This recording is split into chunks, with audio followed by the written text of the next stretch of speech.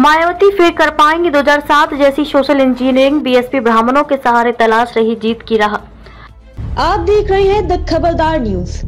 ये news channel नहीं आपकी आवाज़ है। आवाज़ ऐसी जिसे ना कोई दबा सकता है ना झुका सकता है। हम करते हैं सबको खबरदार। हाथी रही गणेश है ब्रह्मा विष्णु महेश है।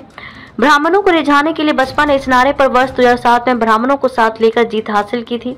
वर्ष 2022 के विधानसभा चुनाव में भी इस नारे पर खासा ज़ोर देते हुए मंडलवार ब्राह्मण सम्मेलन आयोजित कराए गए। लोकसभा चुनाव 2024 में बसपा ने भले ही ये नारा बुलंद ना किया हो, लेकिन उम्मीदवारी तय करते समय ब्राह्मणों को तरजीह ज़रूर देकर विजय की राह तलाशी जा रही है।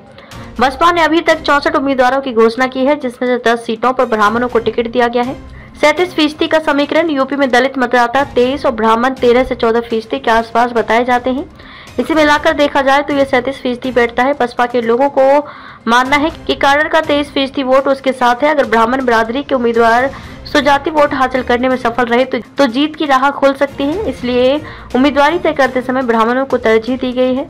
अब ये देखने वाली बात होगी कि जाति आधार पर बैठाया गया ये समीकरण कितना फिट बैठता है। सीटों का जाति समीकरण।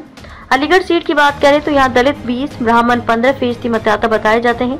फतेहपुर सीकरी सीट पर दलित 21 और ब्राह्मण मतदाता 14 फ़ीसदी के आसपास बताए जाते हैं। धौरहरा में दलित 25 और ब्राह्मण 13 फ़ीसदी के आसपास हैं। उन्नाव में दलित 24 और ब्राह्मण 14 फ़ीसदी के आसपास है। इसी तरह अन्य सीटों पर भी इसी तरह जाति समीकरण बनाए जाते हैं।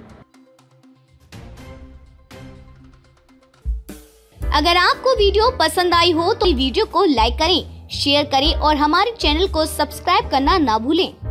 अपने सपनों का घर बना रहे हैं। एपी कंस्ट्रक्शन सॉल्यूशंस आपके लिए तैयार है। मज़बूत सिविल इंजीनियरिंग से लेकर आकर्षक वास्तुकला और विशेषज्ञ वास्तु परामर्श तक हम आपके सपने को साकार करते हैं। वास्तुकला, वास्तु और हुनर इतने बढ़िया।